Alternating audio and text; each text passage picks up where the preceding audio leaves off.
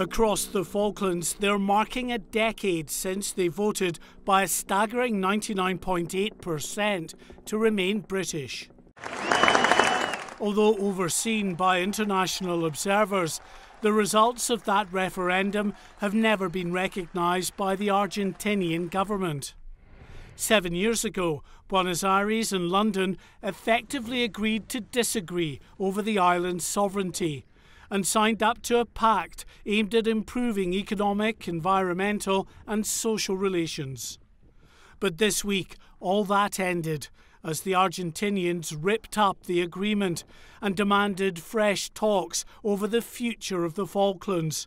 We're always disappointed with the reaction from Argentina, but we're not at all surprised. It's something that we've we've come to live with and, and we understand them very, very clearly when the economy and when when when the political situation in Argentina gets tough, then we are the sort of whipping boys from their point of view.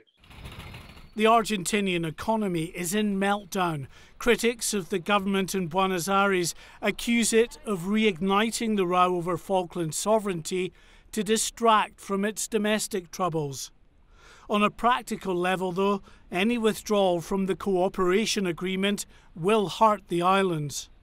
It has impacted the Falklands because the, the, we can't share fisheries data with Argentina because of the, the, the migration of, of the, the fish stock in the ocean. Uh, we've lost a flight to Sao Paulo, uh, which was our second link to South America.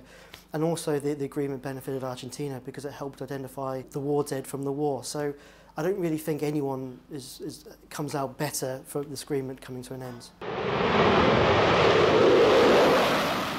With more than a thousand British military personnel, Typhoon fighters, and a Royal Navy presence, the Falklands is far better defended now than before the war in 82.